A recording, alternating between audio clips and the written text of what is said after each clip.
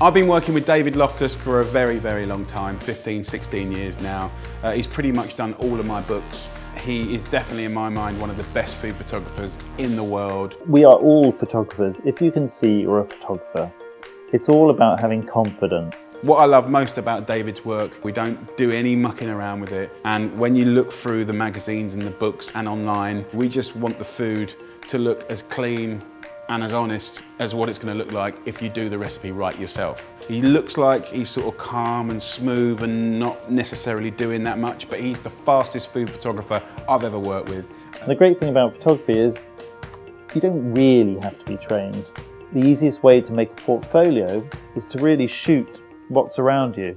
I decided it was flowers and people. So I shot flowers, I shot people. Same way as I'm shooting food now, naturally with daylight. What I love about him is, you know, no flashlights, no mucking about, natural light. And what he's going to show you guys is how, even with simple equipment like an iPhone or anything like that, uh, he'll show you how to take a great picture and how to make it look really gorgeous. And he's going to give you all of his tips about how to make the perfect food shot and I think you're going to love it.